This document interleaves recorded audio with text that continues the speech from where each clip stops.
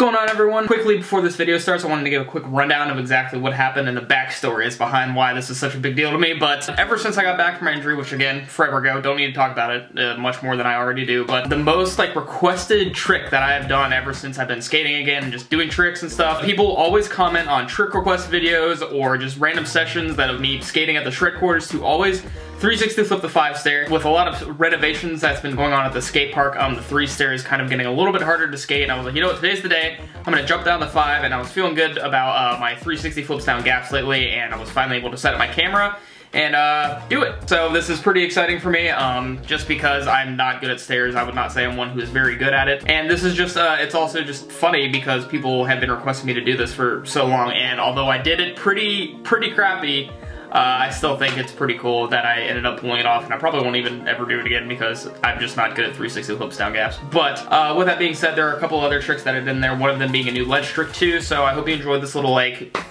I guess it, it's a little bit of a small session, it's a smaller video, but um, I just wanted to give a quick rundown of backstory as to why this is so exciting for me, but stay tuned, there will be more videos coming soon as always, and I will see you later. Goodbye. I wonder if I could throw this right on the lens.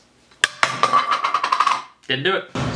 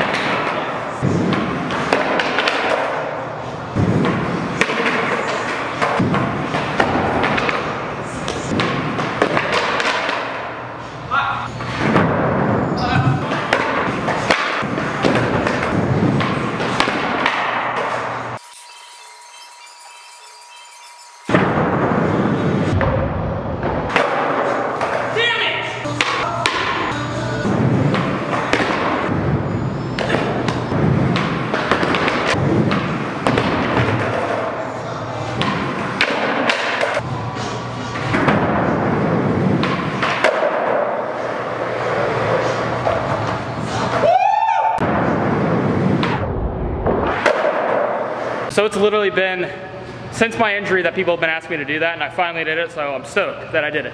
You have no idea what I did, but I will show you in a second. It was very sketchy, but we're gonna get on to actually doing the real session now, so don't, don't trip over the bar. Do you wanna see what I did? Yeah, bro, let's see it. It was really sketchy. Eh? You did it. What'd you get at the Subway?